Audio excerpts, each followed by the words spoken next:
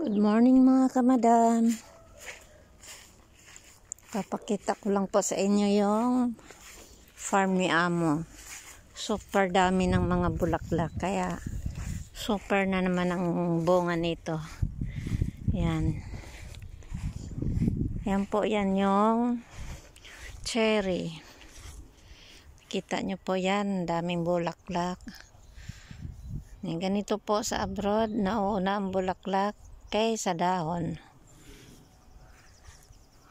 Yan po. Lahat po yan cherry. Yan. Hanggang doon sa ibaba. Ang haba niya, no? Ang haba po yan. Puro cherry yan. Yan. Ang unang namulaklak yung albicoca. Ano ba yung sa Italiano? Yung, eh, English yung albicoca. Hindi ko naalala. Yan, ama, puro albicoca yan. Yan, nauna pa sila namulaklak kaysa cherry.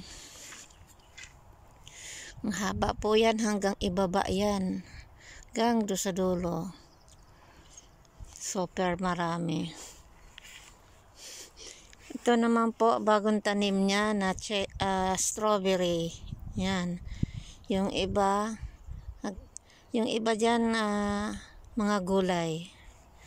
Yan. Ito, panghalo naman to sa karne. Kumbaga sa Pilipinas, paminta. Yan. Ito, albicoca din. No? Super dami ng bulaklak. Kumpul-kumpul na naman po ang bunga nito. Sa dami. Yan. Hanggang doon yan. Albicoca din yan. Sa yan. Super dami. Ito yung mga tanim niya.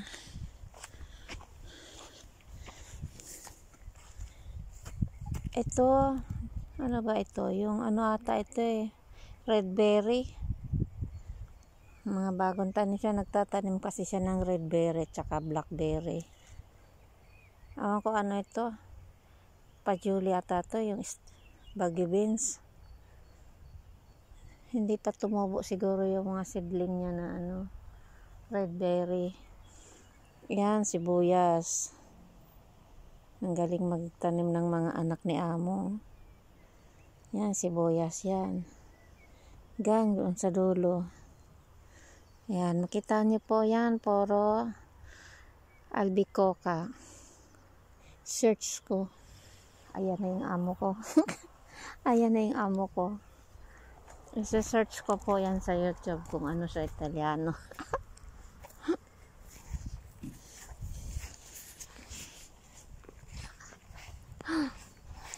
Ayan, mga prutas din po yan. Ayan, mga gulay sa Italiano, kachupe.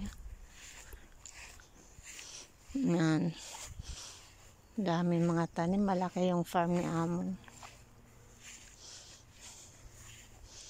Yan. Ito olive, pinakahuli mamunga yan. Okay po, nakita nyo na. Thank you. Bye-bye. Please subscribe my YouTube channel. Bye-bye.